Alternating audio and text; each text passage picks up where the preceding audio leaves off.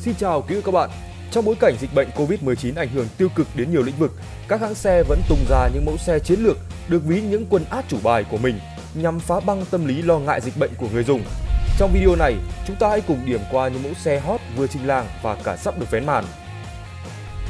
Đầu tiên, mẫu xe mà chúng tôi muốn nhắc đến chính là mẫu crossover cỡ C Toyota Harrier 2020, thế hệ thứ tư của Toyota Harrier vừa được trình làng tại Nhật Bản với nhiều nâng cấp mới khiến mẫu crossover này trở nên sang trọng và thể thao hơn.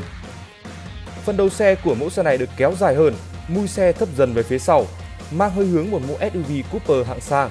Xe được trang bị hệ thống đèn chiếu sáng full LED. Nổi bật là hệ thống đèn hậu kéo dài hết chiều ngang của thân xe. Thiết kế này được đánh giá không thua kém gì với các dòng xe của Lexus. Di chuyển vào bên trong, nội thất của Harrier 2020 được bọc da tổng hợp với thiết kế góc cạnh, hệ thống thông tin giải trí sử dụng màn hình cảm ứng 12,3 inch, tương thích Apple CarPlay, Android Auto và bản đồ định vị. Xe được trang bị dàn âm thanh cao cấp 9 loa của JBL. Ở thế hệ thứ tư, Harrier được trang bị nhiều tiện nghi hiện đại như gương chiếu hậu trong xe kỹ thuật số, cho phép chụp ảnh các vật thể phía trước và sau xe, cửa sổ trời cỡ lớn, cửa sổ cách âm mới. Harrier là mẫu xe đầu tiên của Toyota được trang bị gương chiếu hậu kỹ thuật số. Toyota Harrier 2020 được cung cấp hai lựa chọn phiên bản bao gồm xăng và hybrid. Sau khi có mặt tại thị trường Nhật Bản, Toyota Harrier Mẫu xe này sẽ được trình làng một số thị trường Đông Nam Á khác trong thời gian tới. Hiện chưa rõ tương lai Toyota Harrier có được đưa về Việt Nam hay không, nhưng đây hứa hẹn sẽ là cái tên rất nặng ký trong phân khúc crossover cỡ C, đe dọa trực tiếp những mẫu xe ăn khách như Honda CRV hay Mazda CX-5. Đứng vị trí thứ hai, một mẫu xe với cái tên rất quen thuộc với người dùng Việt Nam, Ford Explorer, mẫu SUV 7 chỗ phiên bản Made in China. Mới đây đã có màn ra mắt trực tuyến tại Trung Quốc và nhanh chóng thu hút được sự quan tâm của dư luận nhờ giá bán rất mềm, chỉ từ 26.950 USD, tức rẻ bằng một nửa bản nhập Mỹ và tất nhiên chỉ bằng 1 phần 3 giá bán tại thị trường Việt Nam mà thôi.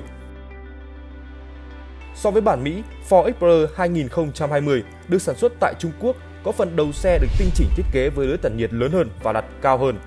Cản trước của xe cũng được làm mới. Thêm giải chrome dưới đèn LED chạy ban ngày, nói chung kiểu dáng không khác biệt nhiều ngoại trừ bộ ống xả kép bản Mỹ được trang bị hệ thống 4 ống xả. Tiến vào không gian nội thất cũng có một số tùy chỉnh tập trung ở bàn điều khiển. Phần trung tâm vẫn là màn hình cảm ứng 10,1 inch của hệ thống thông tin giải trí Sinh 3 đặt ở vị trí thấp hơn bản Mỹ. Cách bố trí này làm giảm đáng kể nút bấm ở khu vực trung tâm. Động cơ của bản Trung Quốc cũng thay đổi.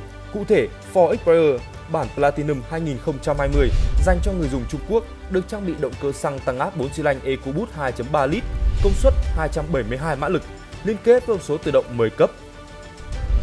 Ngoài hai mẫu xe hot vừa ra mắt bên trên, người dùng cũng đang rất háo hức chờ đợi buổi trình làng mẫu crossover chủ lực của nhà Hyundai, Hyundai Tucson 2021. Bước sang thế hệ mới, Hyundai Tucson được kỳ vọng sẽ là một màn lột xác toàn diện về mặt thiết kế, dựa vào những sản phẩm với phong cách thiết kế nổi bật gần đây của hãng xe Hàn Quốc như Elantra và Hyundai Sonata. Chúng ta có thể tin tưởng rằng Hyundai đang chuẩn bị một cái gì đó thực sự đặc biệt cho Tucson thế hệ tiếp theo không chỉ lột xác về mặt thiết kế ngoại thất, Hyundai Tucson thế hệ mới sẽ được nâng cấp đáng kể khoang cabin. Dựa vào những hình ảnh do gì mới đây chúng ta có thể thấy, nội thất của Hyundai Tucson 2021 sẽ hiện đại và cao cấp hơn với màn hình thông tin giải trí cỡ lớn được tích hợp vào mặt táp lô cùng bảng đồng hồ kỹ thuật số thay vì bảng đồng hồ dạng cơ truyền thống. Bên cạnh đó, công nghệ ship by Wire mới với nút ấn chuyển số thay cho cần số truyền thống của Tucson 2021, tương tự như Hyundai Palisade và Hyundai Sonata thế hệ mới với một loạt những nâng cấp đáng kể, Hyundai Tucson 2021 rõ ràng là một cái tên rất đáng để chờ đợi trong khúc crossover cỡ nhỏ. Còn quý vị các bạn, các bạn đánh giá sao về những mẫu xe chúng ta vừa chia sẻ với nhau?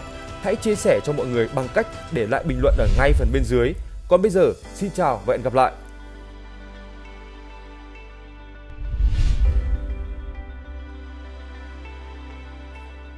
Các bạn ơi, nếu các bạn đã xem được điều gì đó có ích hôm nay thì hãy cho chúng tôi 10 lượt thích và hãy chia sẻ video nhé.